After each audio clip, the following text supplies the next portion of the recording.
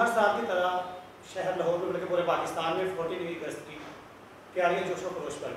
महकमा बहबूदियाबादी भी कोशिश करता है कि इस दिन को बड़े अच्छे तरीके से सेलिब्रेट किया जाए। तो ये बताइएगा इस साल में क्या प्लान किया गया है?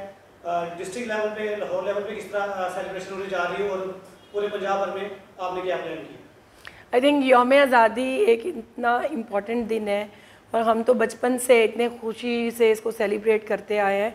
और ये वो स्पिरिट है जो अभी तक कायम है। तो आई थिंक कि आप बल्कि पाकिस्तान को जितने चैलेंजेस का सामना है और मैं देख रही होती हूँ कि कितने लोग आजकल मुश्किल का शिकार हैं तो उसमें जश्न आज़ादी के दिन को मनाना एक तरह से एक न्यू एनर्जी लाने वाली बात है। और इस दिन हम खुद भी, हमारे बच्चों को, और सबको सेलिब्रेट करना चाहिए। और इसी स्पिरिट के तहत पॉपुलेशन वेलफेयर डिपार्टमेंट में जितनी डायरेक्शंस जारी की हैं, हमने सेक्रेटरी साहब की इजाज़त से, वो ये है कि फैमिली हेल्थ क्लिनिक्स सेंटर्स उसके बाद जो डी पी डब्ल्यू के ऑफ़िस हैं और अदरवाइज़ भी वो जितनी भी तकरीबात का इनका कर सकते हैं।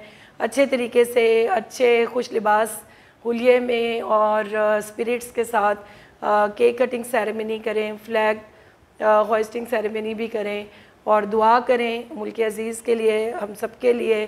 कि अल्लाह ताला हम सब के लिए आसानियाँ पैदा करे, मुल्क दिन रात तरक्की करे और हम पूरी दुनिया में पाकिस्तान का नाम रोशन करें। मैंने बड़ी अच्छी बात आपने की कि बच्चों में खासतौर पे इसकी अवेयरनेस होनी चाहिए। आप क्या मैसेज देते हैं कि जो हमारे बच्चे सब बहुत छोटे हैं, जो हमारे यूथ है, इनको किस तरह चलना चाहिए ताकि ये आने वाले वक्त में पाकिस्तान का नाम रोशन कर सकें और अपने लिए बेहतर मुस्तबिल बना सकें?